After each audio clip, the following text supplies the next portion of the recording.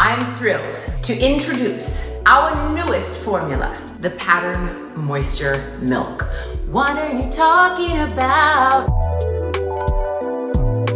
There is nothing like saturating your pattern with our leave-in conditioner, of course. But, however, sometimes your thirsty curls, coils, and tight textures need more. And that's where the moisture milk comes in.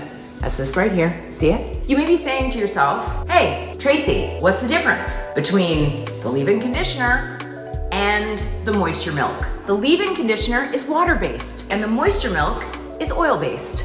Hmm. The leave-in is a conditioner while the moisture milk is a moisturizer.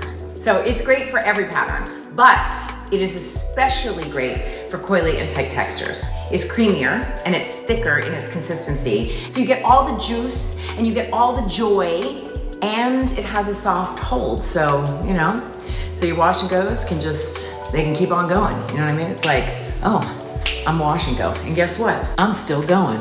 Uh-huh. And then because of the moisture milk, you're gonna keep going, still going. so you want long lasting moisture? You want soft, shiny strands? Huh? Is that what you want? Is that what you want? We got you. The moisture milk. it's got you.